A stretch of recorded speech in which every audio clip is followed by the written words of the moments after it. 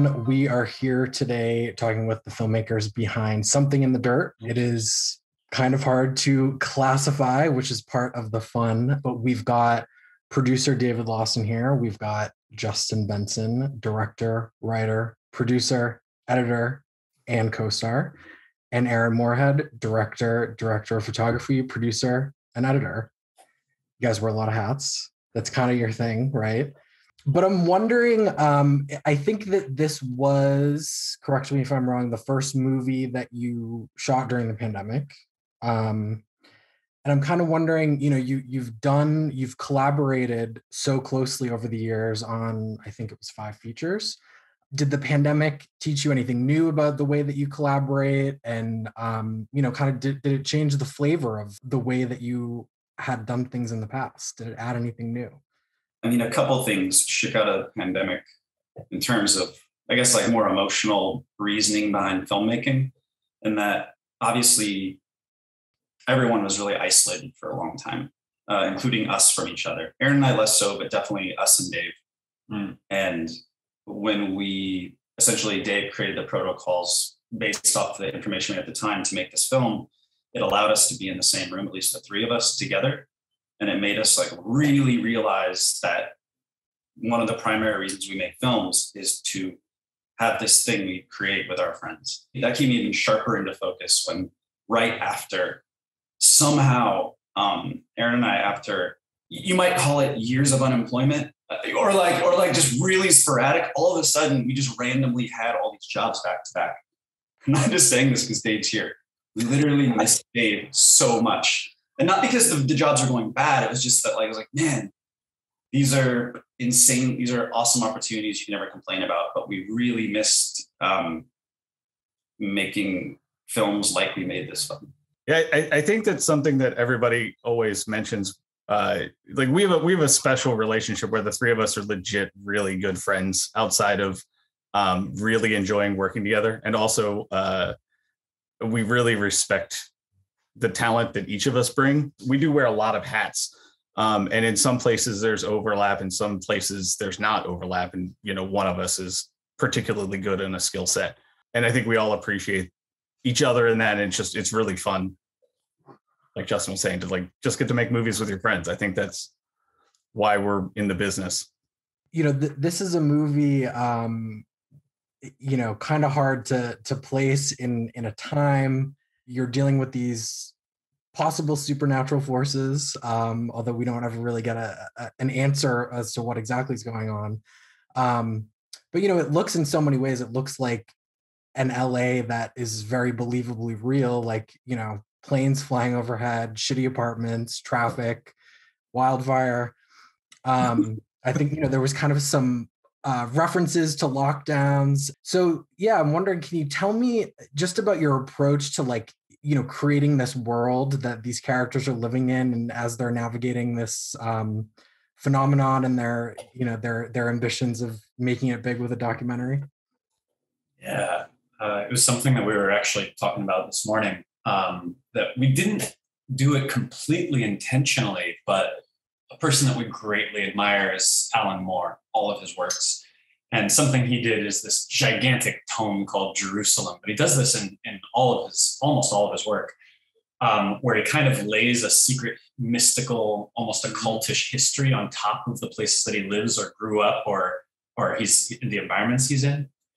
And uh, and we think that we were probably inspired to do that with the secret history of Los Angeles, where there's so many um, films where Los Angeles plays itself you know, or or plays a, a heightened version of it or whatever. But we didn't have any that completely mirrored our own experience. So we realized because the city's gigantic, it's a it's a huge place. And, uh, and this is very literally our own experience. I mean, it's our apartment. We're in it right now.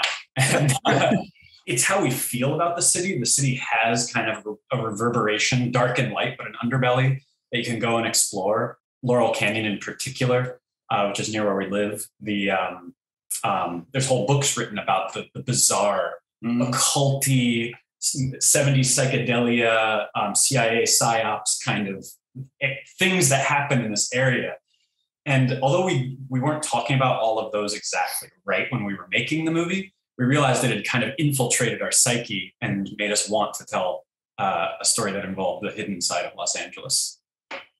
Kind of the occult things and and these conspiracy theories. Was that something that was of interest to you, or was it, you know, something that was kind of born out of this uh, awareness that you know people are really looking to conspiracy theories now to explain things that are that are going on? Well, there's obviously a lot of people looking to conspiracy theories to explain what's going on for sure. But I, I think that the bigger thing for us in terms of how this connects to what you're saying, the occult and all of that, we spent years uh, working on several different projects about the turn of the century occultist, Aleister Crowley. And it's still our white whale. It's still like this thing we're kind of like obsessed with to like finally make someday.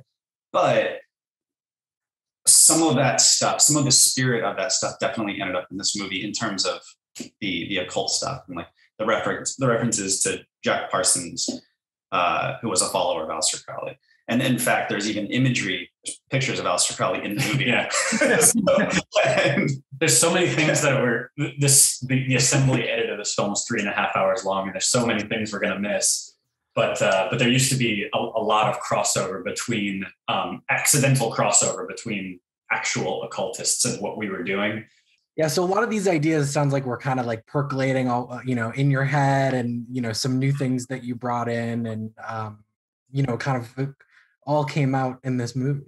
I would say that generally, like the, a, a lot of the stuff that's talked about in the film is stuff that we would talk about in some form or another when we're just hanging out over some beers. So it's you know, especially with you know, like Justin said, we've there's been a lot of Aleister Crowley research, and I think we've all read several books and gone on the deep dives on the internet, and it's you know it just seeps into our natural conversation.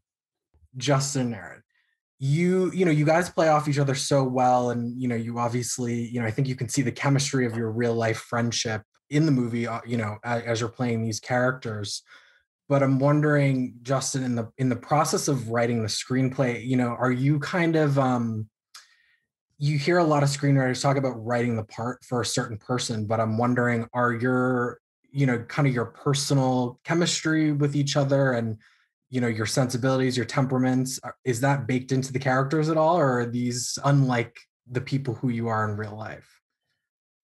That's a really interesting question. Um, one thing is, is whenever we do a project like this, typically Aaron and I will spend quite a bit of time just talking about what is the character we want to play that is best for this story and what are the characteristics we do have within ourselves that can that can come out in this character or even things you just desire to perform that isn't you but you want to play make believe that thing but this movie is really interesting because we did very much intentionally make the characters so wildly different from from who we actually are in real life that uh, I don't know if there's. It's weird. I'm already watching the movie saying like, there's just not much of Aaron in John. And I don't think it's harder for me. I mean, these guys might be like, no, you are exactly like Levi, but I see it and I don't see any of myself in, in Levi anymore. Um, when we were doing it in this apartment together for a month, more so, yeah, like you felt like you were this other person, but I don't, I don't think either one of us really sees much of our actual selves within it. Mm-hmm. And it's funny, the chemistry note. Thank you so much for that we're not actually usually totally performing against each other in those scenes because one person had to hold the camera and it wasn't a line. Yeah. Someone's whispering their lines behind a camera, yeah. but oftentimes your scene partner was like a spot on the wall. But we did do tons of rehearsal, so hopefully that is where this oddball chemistry came out between these these two uh, really weird guys. Yeah, we I, I know uh, when we were shooting it, we we had each decided this, but I know for myself, uh, I decided my character was totally right and made and everything he said made perfect sense, and I had to make it make perfect sense to myself. You know, even though I'm talking about cat parasites, you know, because I, I really did think this character's conviction, but also self awareness of how crazy it sounds, would be the only way that I could believe it as the director. I can't know that I'm kind of funny. You know, I have to know that everything, I have to feel like I'm an intrepid explorer. You know, Levi is humble, but doesn't doesn't know that he's ridiculous. You know? And in, in, every scene at a certain point, you have to like kind of renegotiating with each other and ourselves of like, why is Levi still there? Right. Um, mm-hmm. uh, and I think that's where him and I also diverge as character and person. Where like I would have bounced out so much so much sooner. Yeah. and actually, I, this is something we interestingly found ourselves doing with The Endless, and even more so. Uh, the Endless was two movies ago, but even more so with this film. Uh, we were editing the movie, and it was immediate. Like like on day one of editing, we were talking about what was happening, and we say we point to the screen to ourselves and say, "John didn't do that here." You know, Levi doesn't do that here. Whatever whatever that is and we realized that that's not patting ourselves on the back. It's more just talking about our perception of of our own selves versus the characters that are on screen. Um, they they just felt like different people to us. You know that all seems like it, it adds such an interesting layer to like you know the whole structure of the movie of these guys making a documentary and you know people talking about the documentary that they're making and people you know there's just all these little these layers of of observation that's going on and and commentary what was it about like you know just kind of this idea that in the film of them creating a documentary that was appealing to you uh, as a way to kind of get across the ideas that you were that you were going for? There's a lot of things. I mean one of the things was it really opened up the format of making a feature for us away from the four prior movies we did before that. It opened it up into a structure and format that we had never experimented with before, never used before, and something that we are huge fans of. I mean, who isn't? Who, no one here isn't a fan of, especially like true crime documentaries or documentaries about the supernatural. Mm-hmm. Um, so that that that was really cool. Uh, and then that format worked especially well because once we had finished principal photography, the bulk of it, we still had a lot of shots to get over like the next year while we were traveling. So because of that format, like we could shoot in Petra, we could shoot in Budapest, we could, and, and it would make sense within that format. Yeah. Um, and actually, the the very first, not the kernel of hey, let's make a, a movie during this this uh, horrible dark time in the world, but that that started earlier. But the very first like sentence of the plot was kind of a what would we actually do? What would we actually do if something were to happen supernaturally in one of our? And so it actually started off much more seriously. It probably wasn't. It wasn't like a a, a, a comedic premise. It was like, what did two highly functioning, normal people that are not specialized in it, you know, do? Our initial instinct was like, well, I definitely would try to document it and, and try to mm-hmm. document it in a way that doesn't seem like it could be faked. But I'd also think going more into character and not something that we would personally do. But it's like, well, you don't call the FBI. You know, you don't like you don't call the police, you don't call a, a, ghost show, you mm-hmm. know, not us at least. We try to document it, and then we imagined characters that would feel the need to profit off of that documentation. And we're like, that's a movie. That that makes perfect sense to us. That, that says something about what's going on, how people feel, and um, and uh, it kind of spiraled out from there. It was funny. A funny thing though, it's uh, it's an interesting thing to try to um, have characters expressing their their introduction into filmmaking. They're not as filmmakers. And I'm not saying we personally are masters of filmmaking or anything. It's just funny to like try to think of like like well, it's not what we would say. We what we would say would be way overly complicated or or mm-hmm or inside baseball or inside baseball. But like, there's a funny line in the movie about like how much they think, how much money they think they're going to make if the movie sells at a film festival. And uh, and that's like that's like an example of something. It's like, oh yeah, I used to think that. I used to think that like 15 years ago. It's like, you make a movie and it sells for a million dollars at Sundance, and, and uh, it was it was fun to like to try to remember those things before you were uh, at least somewhat educated with a couple decades of filmmaking.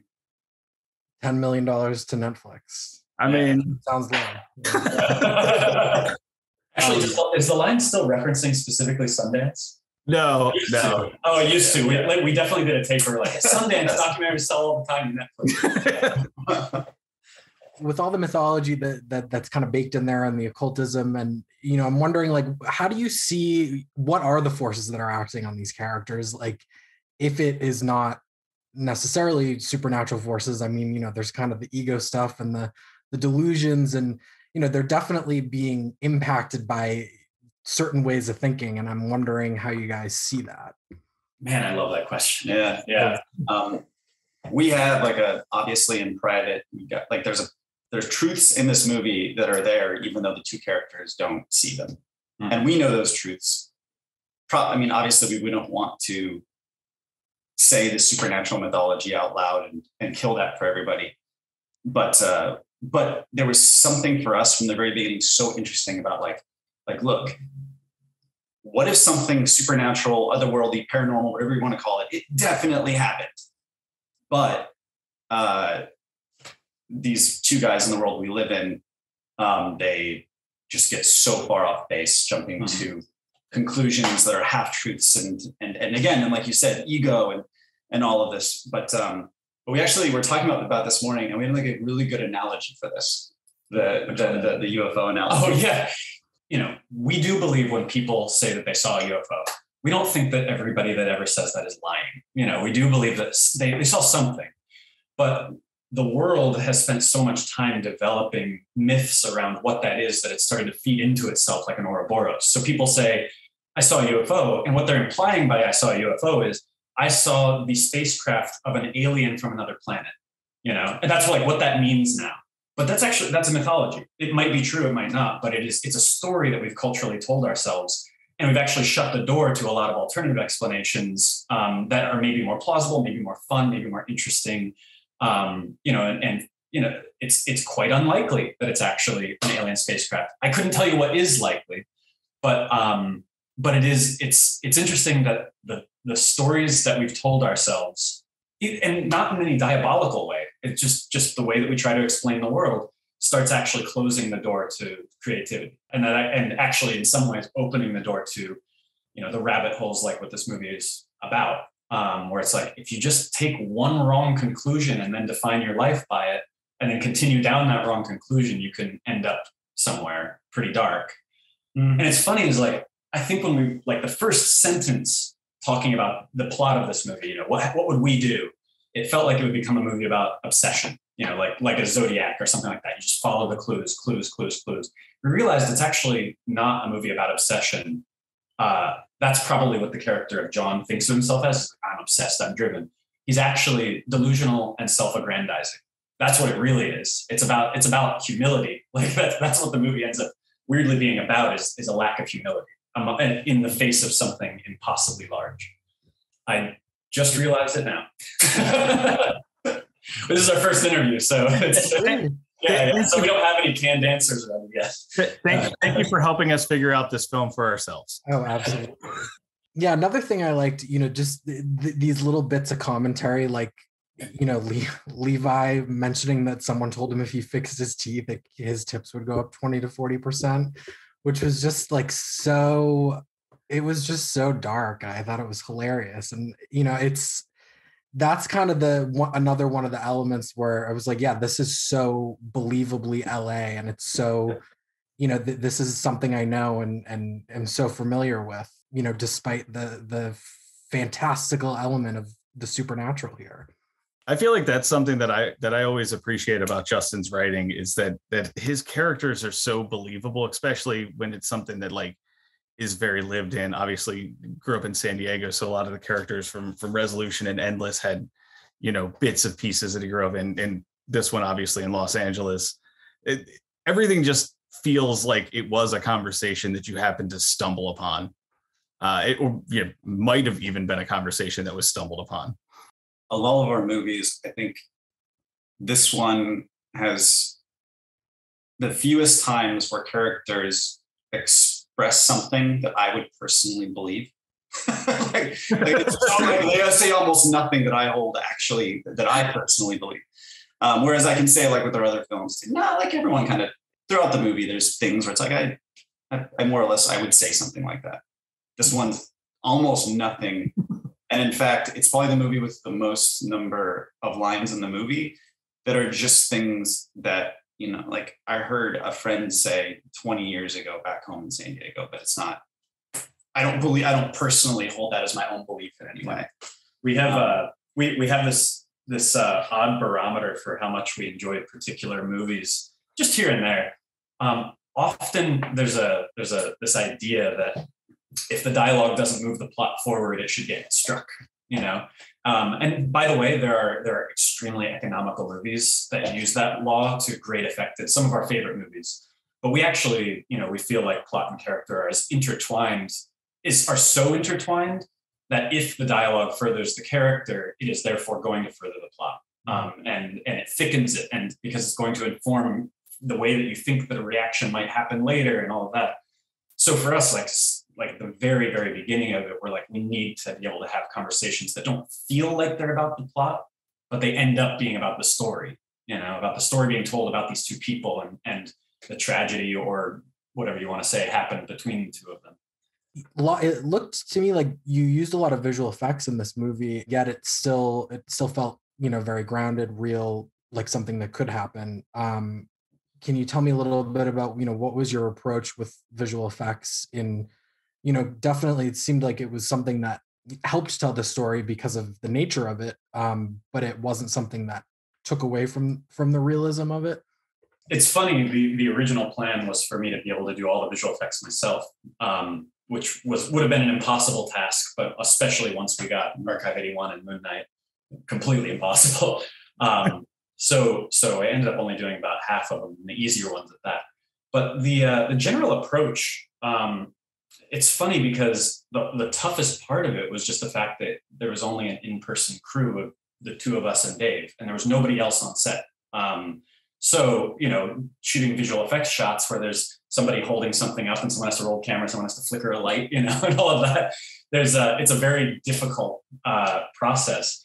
But, uh, but we tried to get as much of the, the floating prism thing in camera as possible so we didn't have to make a CGI prism and some of the the, the projected they're called caustics that kind of rainbow light that refracts through it some of that actually was through a projector but most of it was through our visual effects supervisor who came on and just did a spectacular job with our nonsense named Alban.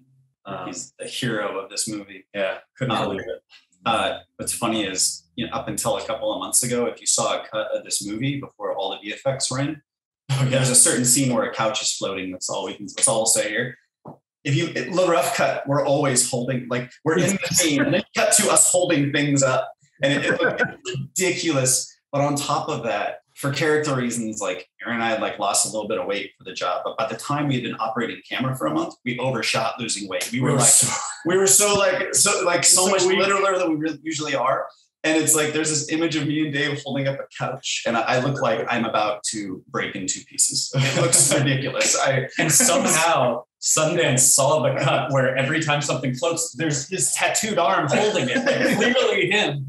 And uh, and still they they let the film in because they had enough imagination to know where it was going to go because all the visual effects came together in the last like two or three months.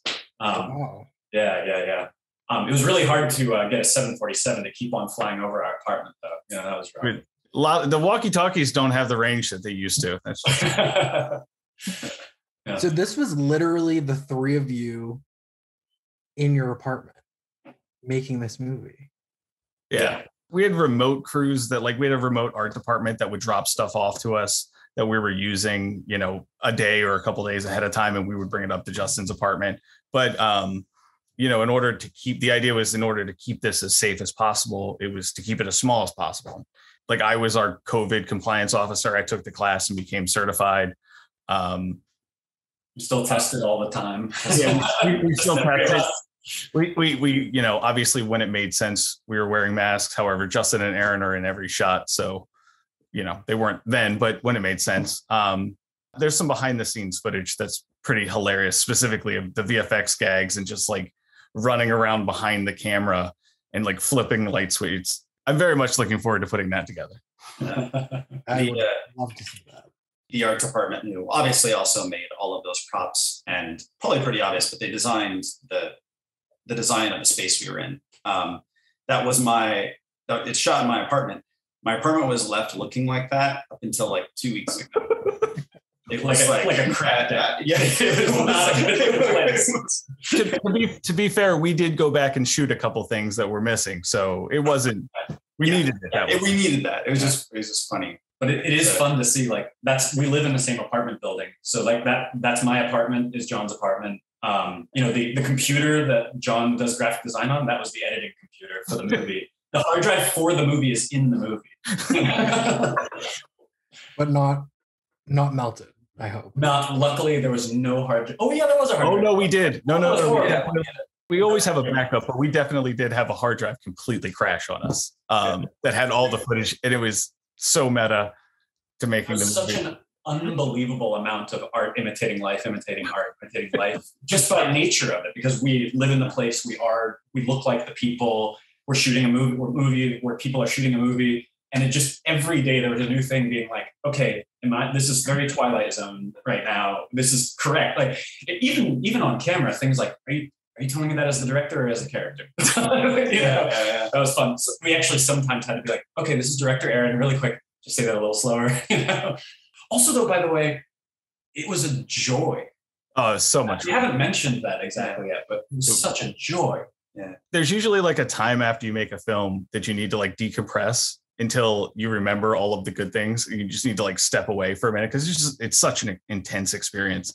I remember texting Justin and Aaron the day after and was like, I I miss I kind of miss being on set. It was a lot of work, but like like Justin said earlier, it was the first time the three of us had hung out together in eight months. Or with like anyone. Or you know, I think that that was also probably a big part of it as well.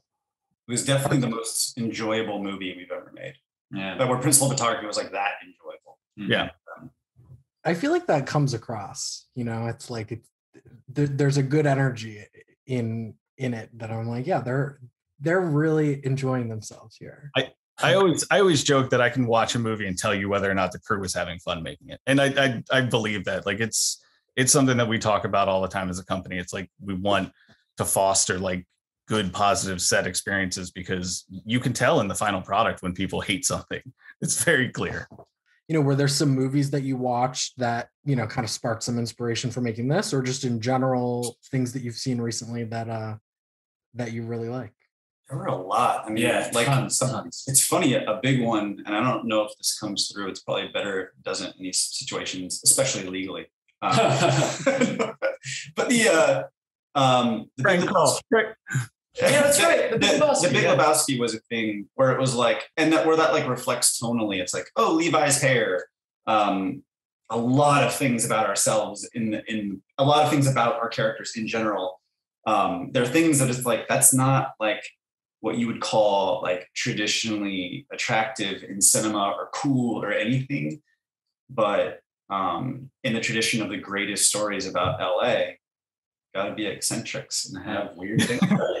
I mean, also there's just like a guy finding a weird underbelly of LA and following a weird rabbit hole to gain, you know, to gain some. Yeah. Um, yeah, yeah. It's funny that one came up. I think like a week before Principal Photography. Like it's like the Big Lebowski. You know? Yeah. um, we know Errol Morris documentaries. Oh, wow. We watched a lot of those. We wa- actually we watched every single one of them. Now. Yeah. For me, I know that John saw himself as as an Errol Morris. You know, not a a wedding photographer using his camera's video function for the first time. Um, Yeah, Errol Morris was a huge one. There's a lot of movies that this movie's a reaction to, in in the sense that um, obviously the movies we've made prior they're typically generally categorized as being like oh horror or sci-fi, and um, even though they're oftentimes hard to categorize, so when in the industry at large, when it's time to like to to to get a uh, a, a job, uh, like hired by a job that's not just us, the stuff that gets sent to us is like, oh, it's like stuff like like things like Poltergeist or um, Amityville Horror or like Paranormal Activity, like these more traditional haunted house stories or haunted building stories. And after 10 years of thinking over how we would do that if we were to do it, and ultimately always ending up so far left of center, no one would ever say yes. This happened Um, over and over and over, by the way. That the result of that was sort of like 10 years of development of this movie, where a lot of those ideas ended up in. I also just remember when we were on set, we uh, we we lovingly referred to it uh, as um, Pineapple Express, like Pie Pineapple Express. You know, there's like kind of a stoner buddy comedy thing, and then there's also like an obsessive code-like darkness to the whole thing. And somehow we smashed those together, and for us, it works really well. It's funny because there's it's a as you said earlier, it's kind of hard to describe. Um, it's hard to to put a really uh, this meets this on it. And when you do a correct this meets this, it's like, what does that equal?